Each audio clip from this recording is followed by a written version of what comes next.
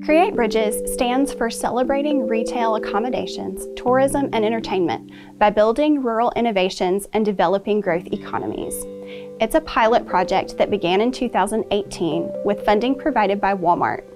It's designed for multi-county regions to focus community development resources on the retail, tourism, accommodations, and entertainment sectors, what we call create sectors.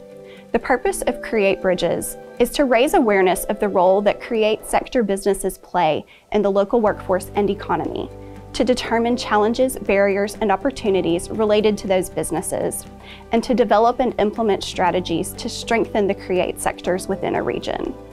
The project takes the participating regions from coalition building and needs assessment to strategy development and implementation. The Southern Rural Development Center has been pleased to partner with the University of Arkansas, Oklahoma State University, and the University of Kentucky in the first pilot phase of Create Bridges. This video shares stories from the five multi-county regions across these three states. We developed workforce training so that businesses had a place to send their employees to if they wanted to develop essential skills. Um, but we also were very clear about providing incentives to help reduce those barriers um, to getting to work and to being a good employee. And so one thing that Prosper Appalachia is doing is a summer internship program. It's a 10-week paid summer internship program coupled with professional development training. Uh, Bridges was part of that last year in 2021. And we're trying to connect young people as early as possible to careers that they're interested in, in their place, in their home communities, so that they can see the opportunities that are here in Eastern Kentucky, because there are opportunities. Um, and you know, they don't have to leave home to find their future all the time. Uh, so that's something that we're trying to help connect community, connect employers, and connect young people. It was right in the middle of the pandemic, so I wanted something to do. I wanted to make the connections, and it really seemed interesting to me to be able to have that connection because I had never done anything with like anybody else like that before, like an internship type deal, so I thought it would be really good for me to make those connections. So at the same time that I was working with Create Bridges, I was also working at the Mint Cottage, which is a locally owned boutique in Leslie County, downtown Hyden. So at the same time I was doing that and working with the social media, I was also working at another locally owned business. And I was able to integrate all of that into how I perceived my work and learned.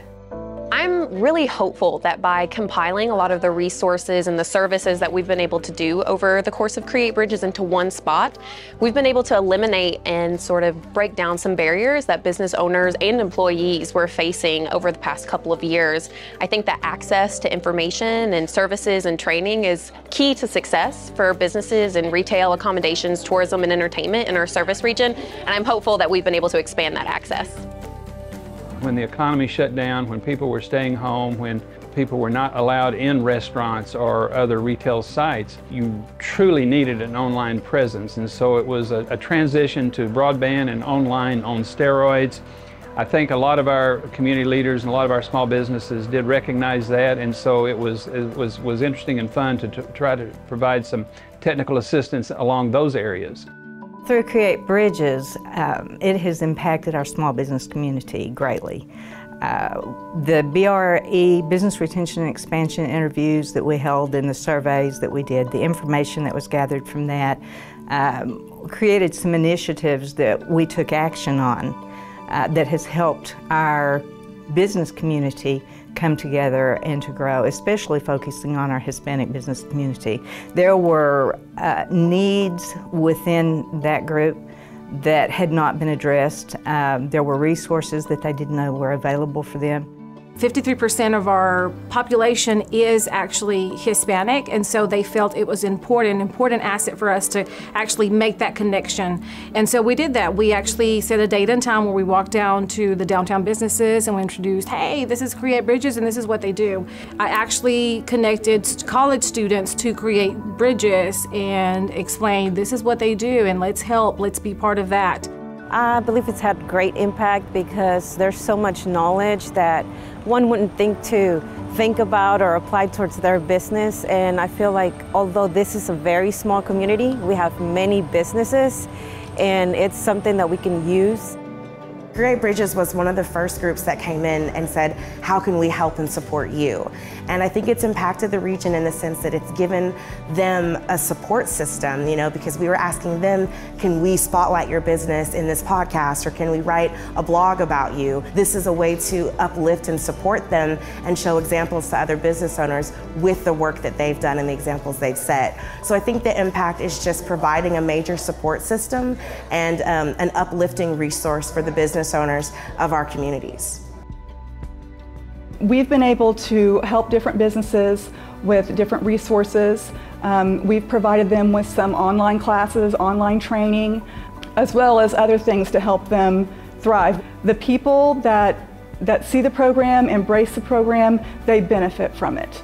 Um, other small businesses, I encourage them, if, if there's a Create Bridges program in their area or something similar, to engage with the program uh, because it does pay off. We are in Pawnee, Oklahoma, and this is the Buffalo Theater. It became a theater in 1921. Rural towns don't get much attention. People go to the cities to do what they do, you know, to get to seek their entertainment. And um, if a town is lucky enough to have that entertainment in their very own community, I think it's very special and important. But we're going to show movies, we're going to have concerts, and we're going to bring back community theater, which is so important. This came about, and sooner rather than later, I got to show this town what's in store for them in the future, thanks to the grant. We worked in very rural regions that a lot of times we think don't have a lot of assets, but as they went through the process of identifying resources that help support uh, tourism and retail or the businesses or the people that were involved in those sectors, I think that gave them a new understanding and a new appreciation of the resources that are out there and the potential that exists within these communities. A lot of our rural communities uh, really have retail and hospitality as the backbone of their economy. We're a very ag state, um, but tourism is a big driver uh, for these local towns and it helps to keep them alive not only business retention expansion, but there was discussion about tourism because that's another sector that Create Bridges focuses on. And we have tourism going on in places around us, and I kept thinking, is there a way to have people stay and play instead of just pass on by the way? And it is so important for our region to understand and realize those economic dollars are going to be coming in here, those tourism dollars are going to be coming in here into our area.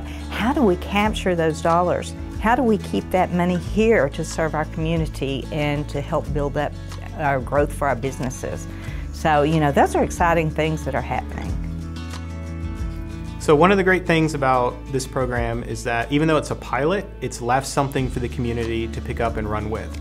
We've had the opportunity to connect different leaders and communities together who I don't think otherwise would have been connected.